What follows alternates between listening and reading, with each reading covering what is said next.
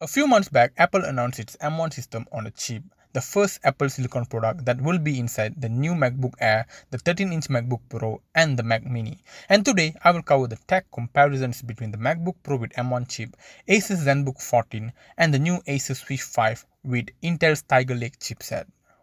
Before I go further, if you guys are new to this channel, please do consider subscribing to Logan the Tech Guy YouTube channel. I make tech comparison video here sometimes in infographical way and in voiceover like this one. I also do tech reviews and sometimes I explore the science and engineering topics too. So yeah, hit the little red subscribe button if you haven't and help us to achieve the huge goal of achieving 100,000 subscribers mark in this YouTube channel. Thank you for that. Let's dive in.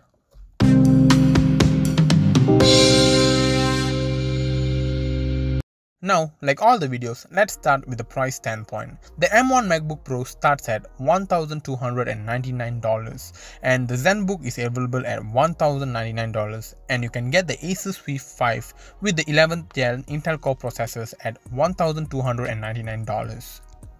Well, this is based on Amazon price where you can find the links below. It's an affiliate link where if you purchase from it, I will get some commissions from it, which will eventually help Logan the Tech Guy YouTube channel to make better videos in the future. There also will be some promo Amazon links too, so do check it out. And to those who have actually purchased it, thank you from bottom of my heart. Now, I will start with the design for the Apple MacBook Pro powered by the M1 chip. Apple did not change the overall design and approach for the MacBook Pro. The M1 powered version replaces the old 8th generation Intel model with two USB-C ports on the left side of the DAC. On the right hand side, it has a headphone jack. Otherwise, it's the same old MacBook Pro that Apple has made for the last few years. On the inside, it's the Apple Magic Keyboard with scissor keys, a touch bar with a dedicated escape key and a Touch ID power button that will read your fingerprint in order to unlock the computer. Approve purchases in the Safari or open apps like 1Password. Below the keyboard is the Apple's large force touch trackpad. Outside of the housing is a traditional silver color with Apple logo. Looks identical to 2016 MacBook Pro, the first MacBook Pro to ship with touch bar. Inside is a 13.3 inch display with 500 nits of brightness, true tone technology and white color P3 support. Centered above the display is Apple's 720p FaceTime camera. Many, including myself, had hoped that Apple would update the camera, but it didn't happen. But according to Apple, the M1 includes the same image signal processor ISP that's used in iPhone 12 and the webcam benefits from that. In couple of video calls I've had during my time testing, I can confirm that it indeed looked better on this camera when compared to the 2016 version of the MacBook Pro. For the Asus ZenBook 14, it's slightly thinner and lighter and it also slightly larger which allows for a thicker chin beneath or underneath the screen. Metal pieces are still used for this entire case and the input and output has been improved this time with Thunderbolt 3 support and a full-size HDMI and USB ports. Logan the Guy is set to inform that the 3.5mm headphone jack has been X, marking an unexpected debut of this first ZenBook without a headphone jack. The USB ports now support Thunderbolt 3 and DisplayPort and that's what you end up using anyway if you plan to hook up with Quad HD or Ultra HD screens at 60Hz. Still, Asus went this route and it's up to you if this is a potential deal breaker or not. As for the rest of the input and output, both the USB-C slots on the left edge support Thunderbolt 3 with data, video and charging. Asus also include a full-size USB-A slot on the right although that's a slow Gen 1 variant, a micro SD card reader on the right as well, and the status LED have been split between two sides. Much like all the other Asus ZenBook these days, the Asus ZenBook 14 still implements what they call as Ergo Lift hinge design with a screen that raises on this small rubber feet and lifts the laptop's main body from the desk, allowing for extra airflow underneath. This might seem like a tiny detail but it's something that improves product's reliability and a welcome update in my book. Asus includes a combined IR plus webcam combo at the top of the screen, flanked by the microphone, move the status LEDs out of the way to the sides, and they put a fairly grippy rubber feet on the bottom where you will find also the speaker cards, firing through those cards on the laterals. Now for the Acer Swift 5 design. The design of this laptop doesn't appear to have changed from the year before. We are still talking about a magnesium chassis that now weighs exactly 1 kg. Its profile is 14.9mm which makes it one of the thinnest and lightest 14 inches out there. Thanks to the Acer engineers who have designed the device in such way, it has a structurally sound body despite its thin light nature. The display has an antimicrobial Corning Gorilla Glass cover which also helps with the rigidity of the panel. And to address the difficulty of supplying the fan with air, they have risen the bottom panel thanks to the lavalier system of the lid. It is also known as Ergo Lift panel from the Asus ZenBook 14. On the left, you can get the charging plug, a HDMI connector followed by USB Type-A 3.2 Gen 1 port, a USB Type-C connector with Thunderbolt 4. And on the right, you will find a Kensington lock, another USB Type-A 3.2 Gen 1 port, and an audio jack. For the display of the MacBook Pro 13, it comes with 13.3 inch diagonal LED backlit retina display with IPS technology. It has a 2560 by 1600 native resolution at 227 pixels per inch with support for millions of colors. The laptop has a 500 nits brightness with white color P3 and True Tone technology. Meanwhile, the Asus ZenBook 14 comes with 14-inch display that is bright and clear with 4 sided Nano Edge display with slim bezels that create a 90% screen-to-body ratio for a more immersive viewing experience. It comes with low-powered 1-watt display which delivers an incredible 400 nits of brightness while maximizing the battery life. The screen resolution is 1920 by 1080p with 16 by 9 aspect ratio with anti-glare screen. For the display of the Acer Swift 5, it had a touchscreen Full HD display with 14-inch panel and a resolution of 1920 by 1080p. It has a screen ratio of 16 by 9 with a pixel density of 157 pixels per inch and it comes with a screen that can be considered as retina when viewed from at least 55 centimeters which is from the distance of the average human eye that can see individual pixels. The performance of the M1 MacBook Pro. If you're disappointed with the lack of new design, I understand. I personally had hoped we would have at least see a slightly different take on the MacBook Pro, which is in a different design or cellular connectivity with LTE or 5G. But after using the MacBook Pro, it's clear that Apple wanted the performance of its new M1 chip to be the star of the show. The base model of M1 MacBook Pro will come with 8GB of memory with 256GB of storage. You can bump up the memory up to 16GB with storage topping up to 2TB. Some professionals will understandably be frustrated with the memory cap at 16GB and it's unclear why the Apple has chosen to draw the line with the M1 processor memory support. Apple is keeping the Intel MacBook Pro models around for the time being at least with the option to add more memory. A fully loaded MacBook Pro with an M1 comes with 16 16 gigabytes of memory and 2 terabytes of storage prices out at $2,299. Performance wise for the ZenBook 14, it comes with Intel Core i7-1065G7 processor with Intel Iris Pro graphics with 16GB of LPDDR4, 3200MHz of memory and a fast 1TB Samsung SSD. Specs wise, this is based on the same Intel Ice Lake hardware implemented by multitude of other Ultrabooks. The processor is snappy in single core tasks and averagely is competent in multitasking, especially when allowed to run at higher TDP settings. By default, this is a 15 watt platform, but it can standardly run at 25 plus watts in better products.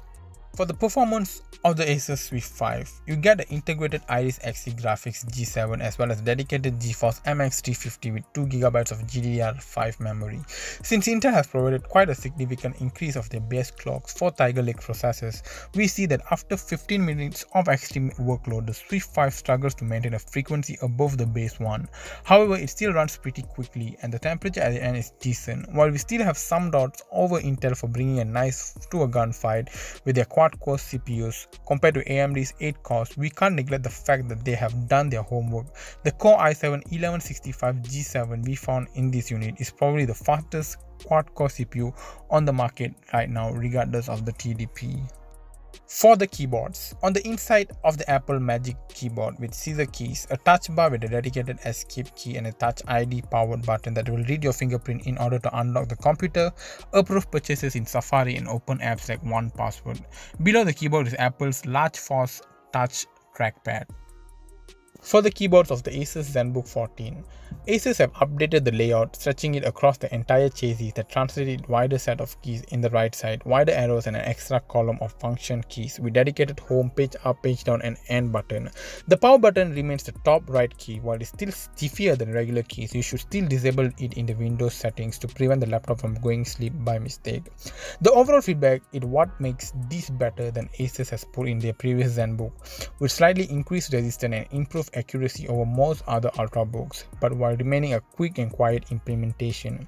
I also noted that these keys have slightly concave shape and are completely flat, which also help with the overall typing experience. They also feel nice to touch with soft rubberized surface. This keyboard is also backlit with white LEDs, 3 levels of intensity plus a dedicated indicator for cap locks.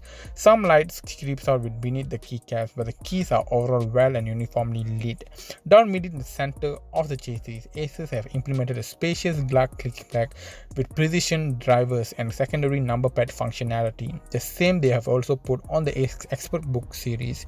In a month, smooth reliability and a sturdy surface with a good gesture support and a palm rejection, I have nothing to complain about this keyboard and trackpad.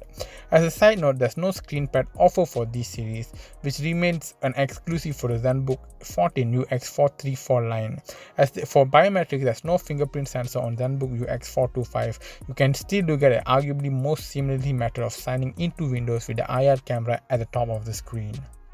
For Acer Swift 5 keyboards, we can see a backlit keyboard which has a rather shallow key travel but somewhat clicky with the exception of tab key, which is really soft. By the way, the arrow keys are still pretty small and they are neighboring with the page up and page down keys. We can still be a little annoying on some occasions. Further down, there's a touchpad which has a decent gliding and a good tracking.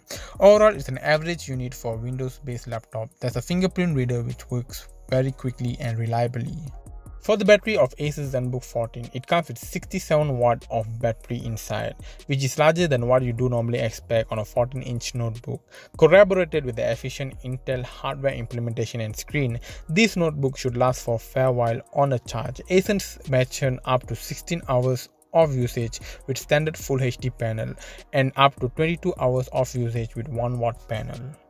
For the Acer Swift 5, it comes with 56 watt hour battery capacity and with turning on with the Windows better performance on and a screen brightness of adjusted of 120 nits and all other programs turned off except for the program where we are testing this notebook with, the laptop delivers up to 20 hours of web browsing and 13 hours 53 minutes of video playback. Wi-Fi and Bluetooth of the M1 MacBook Pro come with Wi-Fi 6, the newest Wi-Fi protocol that's faster and more efficient than the prior generation. It also comes with Bluetooth 5.0 support, while the ZenBook 14 comes with wireless connectivity uh, which is the Wi-Fi 6 and Bluetooth 5 on board. For the Swift 5, it settles with Wi-Fi LAN standard 802.11a which is known as Wi-Fi 5 and also Bluetooth standard 5.0. Before we go to the pros, cons and verdicts of this laptop, if you like what you're watching and if you want to see more tech comparison video from Logan the Tech Guy YouTube channel, then a sub will be massively appreciated. Now for the pros of Apple's MacBook Pro, it comes with the fastest CPU which in the form of M1 chipset which gives it a longer battery life. It comes with secure lock with better thermal cooling. It comes with great speakers and display. It comes with touch bar and touch ID which works perfectly and it comes with the magic keyboard which is so lovely to type in. For the pros of the Asus ZenBook 14, it is a lightest weight laptop with premium specs. It comes with matte IPS screen with good amounts of input and great for multitasking. It has no fan noise in heavy usage. It comes with 67 watt hour battery and a good battery life. It is decently priced with the spec. For the Acer Swift 5 Pros, it comes with both Intel and NVIDIA GeForce MX350. It has a thin and light form factor with great battery life and a dual heat pipe for good thermal cooling effect. For the verdict of the M1 notebook, the average consumer who walks in an Apple store or Best Buy buys a MacBook Pro and goes home to set it up. Will likely never realize that Apple has completely transitioned away from Intel to Apple Silicon. And that's the right way to go about this. It shouldn't matter to the end user once inside the computer. The only thing should matter is the performance, battery life, and the app work. And if this really comes down to those three things, then Apple has really nailed the first M1 Max chipset. For the Asus ZenBook 14, the battery testing with Windows better performance setting turned on, screen brightness adjusted to 120 nits gives it a good battery life laptop which is suitable for students out there. While for the Acer Swift 5, every time we get a thin and light device, we are exposing the same weakness over and over. They include thermal high cooling, weak chassis and more than ever incapable hardware. However, the case with today's Hero is different. The magnesium alloy of this machine is not only thin and light but it's also structurally sound. Also, the laptop features one of the best CPU and GPU combos you can get to see out there, especially now cyclic CPU of Intel have hit the markets. So that's literally it guys about the Apple M1 MacBook Pro versus the Asus ZenBook 14 and the Acer Swift 5. Which one will you go for? If you have the budget, you can go for the MacBook Pro. If you are in the middle, you can go for the ZenBook or the Acer Swift 5. It downs to your preference. Each of the laptop works perfectly in their own. Let me know in the comments below and if you did find this video helpful and if you want to see more from me then hit on the subscribe button and tap on the bell icon. It is always really appreciated and check on my other laptop comparison video. I will catch you next time right here. We are still in the middle of a global pandemic so take care, stay safe. Happy New Year and hit the subscribe button right now. All love and peace out.